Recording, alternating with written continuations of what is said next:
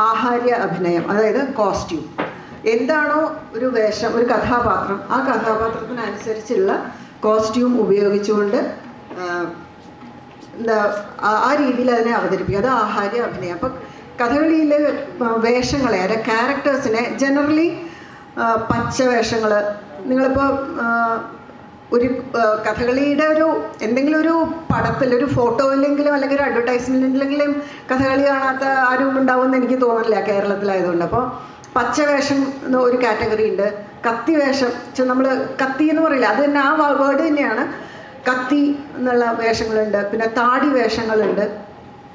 മിനുക്ക് വേഷങ്ങൾ ഇങ്ങനെ വേഷങ്ങളെ അവരുടെ സ്വഭാവത്തിനനുസരിച്ചിട്ടുമൊക്കെ പല രീതിയിൽ കാറ്റഗറൈസ് ചെയ്തിട്ടുണ്ട്. ഇന്നിവിടെ നമ്മൾ കളിക്കണ കഥയിൽ പച്ചവേഷമുണ്ട്. കുശലവന്മാർ കഥ കഥയിലേക്ക് വരാം. അതിനു മുമ്പ് പച്ചവേഷമുണ്ട്.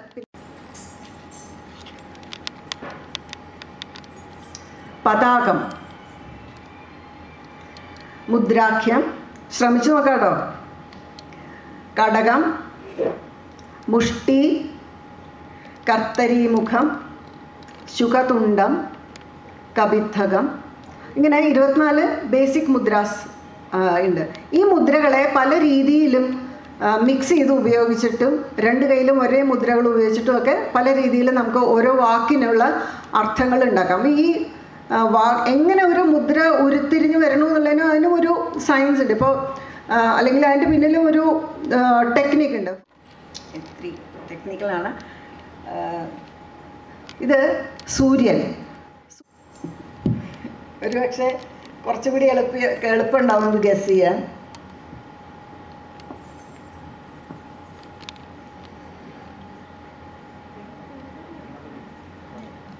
ആ കുറച്ചടുത്തെത്തി. മിന്നൽ മിന്നൽ.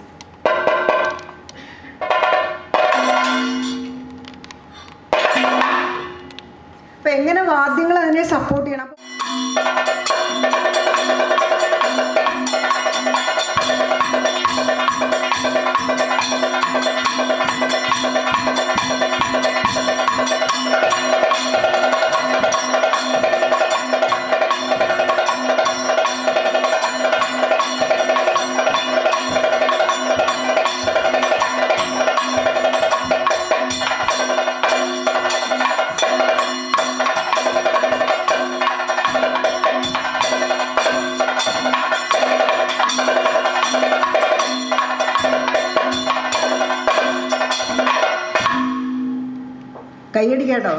ആ, ഇതിന് കഥകളിയിൽ ആട്ടം എന്നാണ് പറയാം തന്റെടാട്ടം എന്ന് പറയും അല്ലെങ്കിൽ ആട്ടം മനോധർമ്മ ആട്ടം എന്നൊക്കെ പറയും. ഇതുപോലെ കല്യാണ സൗകര്യം കഥ ചെയ്താൽ അതായത് ഒരുപക്ഷെ കേട്ടിട്ടുണ്ടാവും പാഞ്ചാലിയുടെ മുമ്പിൽ ഒരു പൂ വന്ന് വീണു.